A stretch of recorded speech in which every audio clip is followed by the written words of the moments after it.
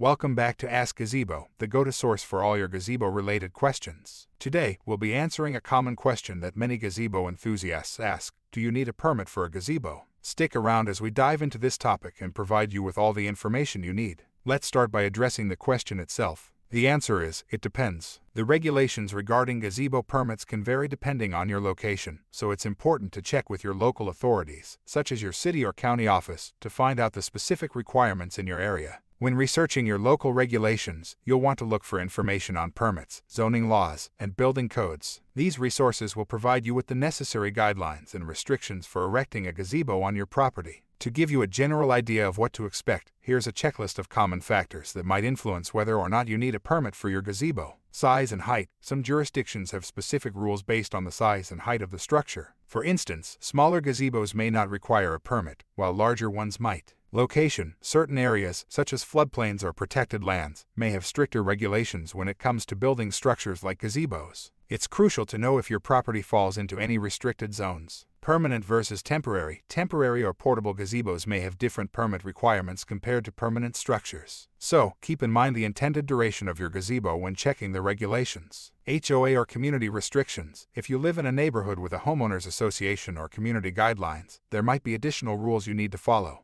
These can vary widely, so it's essential to review your HOA agreements. Once you've familiarized yourself with the local regulations, it's time to take action. Here are some steps to follow. Research, as mentioned earlier, gather information from your local authorities and ensure you have a clear understanding of the rules and regulations. Apply for a permit. If required, submit an application for a permit. This usually involves providing details about your gazebo size, location, and construction plans. Seek professional assistance, depending on the complexity of your project you might want to consult with an architect or contractor who can guide you through the process and ensure your gazebo meets all the necessary requirements. Remember, it's always better to be safe than sorry. Obtaining the proper permits not only helps you avoid potential legal issues but also ensures the structural integrity and safety of your gazebo. That wraps up our video on whether you need a permit for a gazebo. We hope this information has been helpful to you. If you have any more questions or need further assistance, don't hesitate to visit our website askgazebo.com, where we provide detailed articles and guides to help you on your gazebo journey. Thanks for watching, and until next time, happy gazebo!